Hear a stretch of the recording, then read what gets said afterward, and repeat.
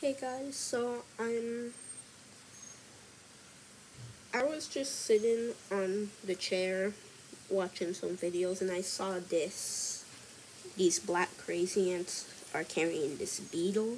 It looks like a wood beetle, I'm not sure. But they but it um carried it from over here to over here.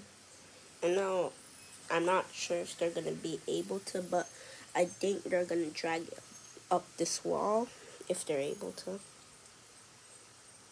But yeah, it looks like some type of wood beetle or weevil. I want to see if they actually manage to get it up the wall. So these are black crazy ants and they just swarm around food and stuff. They don't bite though.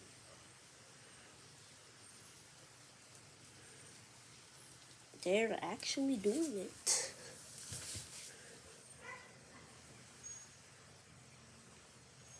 They're actually carrying the weevil up the wall.